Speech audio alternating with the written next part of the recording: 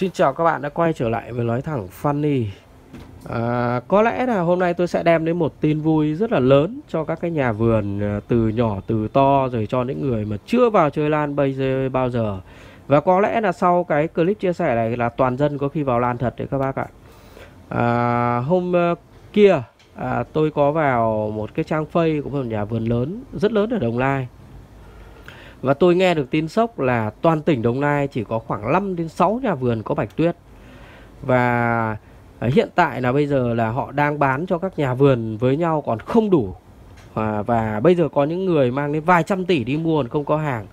À, xin thưa với các bạn là đó là một tín hiệu vui cho tất cả anh em chơi lan và cho tất cả những người kinh doanh lan. Vậy thì ông nào mà còn bạch tuyết, bà nào còn bạch tuyết thì mang liên hệ khẩn trương với nhà vườn lớn này ở Đồng Nai để mà bán đi.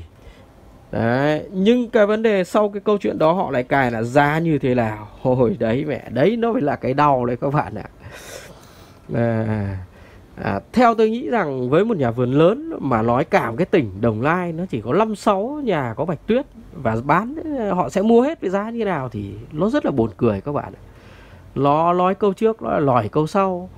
Xin thưa với các bạn là nếu như bạch tuyết mà nó như thế thật thì thật sự nó là một miếng mồi ngon cho tất cả anh em dân buôn, cho tất cả những người mới chơi lan, cho tất cả những nhà vườn lớn. Nhưng không hề có chuyện đó các bạn ạ. Nó không khác gì một cái chiêu trò mà tôi nói thẳng luôn nó nó bẩn tính. Bởi vì sao kinh doanh nó phải rõ ràng và kinh doanh nó phải có đạo đức các bạn.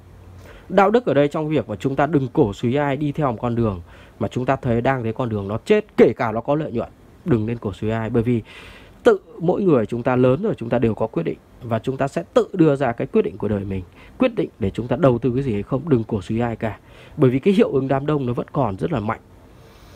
À, khi họ nói một câu đó và họ làm nhà vườn lớn thì tôi nghĩ rằng đó là điều vô cùng nguy hiểm trong cái việc họ kêu gọi mọi người đầu tư vào lan. Dĩ nhiên đầu tư bất kể vào cái gì đều có lãi và đều thất bại. Nó luôn là con dao hai mặt kể cả những thời điểm nó xuống đáy hay kể cả những thời điểm nó lên đỉnh cao nó đều hai mặt.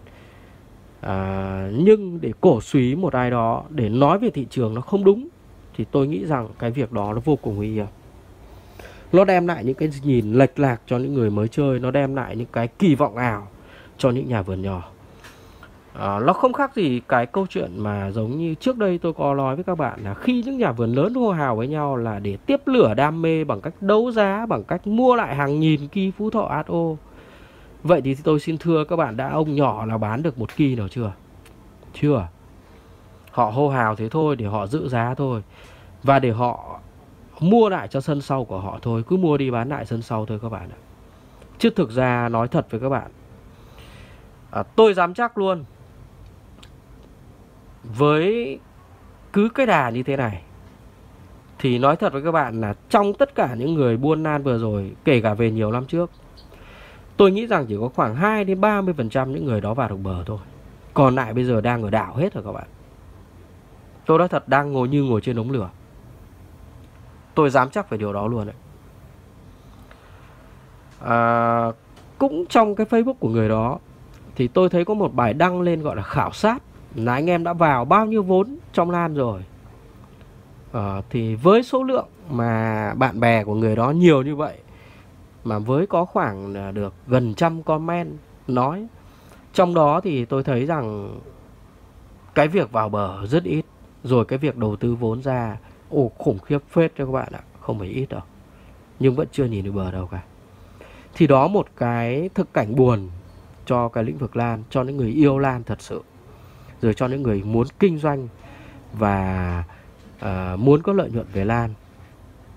Đó là một viễn cảnh buồn. À, tôi không biết các bạn đánh giá như nào nhưng tôi tin chắc một điều. Ở đồng nai chắc chắn phải có nhiều hơn 6 vườn có bạch tuyết.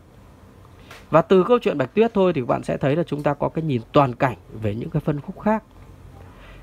Trong việc họ ma mị như thế nào?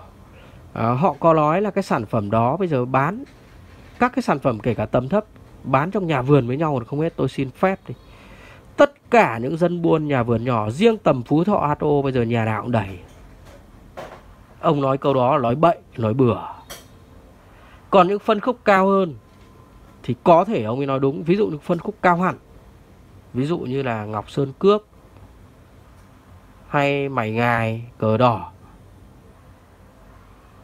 thì đấy là những cái phân khúc mà tôi nghĩ nó thuộc tầm cao hẳn thì đúng là ít nhà vườn sử, sử có đó thì điều đó là đúng. Còn những phân khúc tầm cao ngày xưa bây giờ nó thuộc tầm trung rồi mà tầm trung thuộc tầm thấp rồi. À, tôi nghĩ rằng nhiều nhà vườn họ vào rồi tôi nói thật.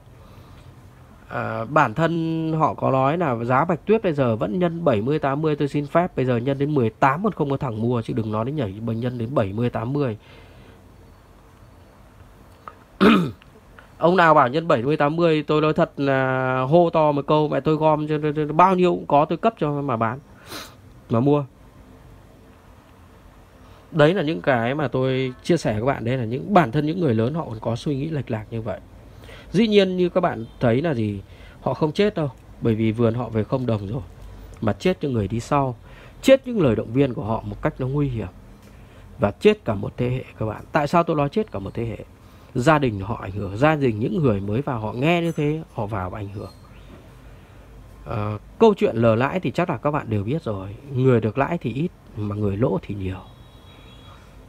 À, buồn vui trong lan thì thời điểm vừa rồi vui thì ít mà buồn thì nhiều các bạn nói thật các bạn bây giờ nhiều người khóc không dám khóc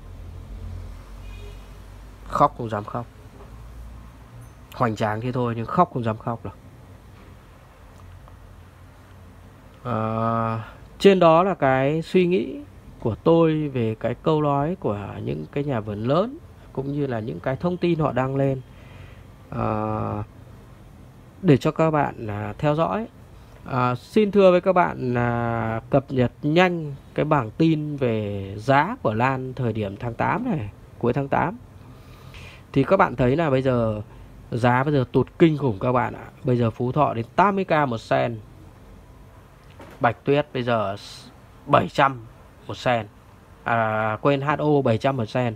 Bạch tuyết bây giờ tôi nói các bạn 18 20 triệu một sen. Hồng yên thủy thì cũng rẻ lắm rồi. Bây giờ một kỳ nó chỉ khoảng 15 triệu 10 triệu. Và cứ theo cái đà này thì tôi nghĩ rằng nó còn rẻ các bạn ạ. Nó còn rẻ. Và nó có nhiều lý do như tôi đã phân tích ở những cái clip trước rồi. Thôi à, các bạn chúc các bạn à, buổi tối vui vẻ mà mong các bạn để lại comment ở dưới để cho nói thẳng Funny biết ý kiến của bạn như nào. Cảm ơn các bạn rất nhiều.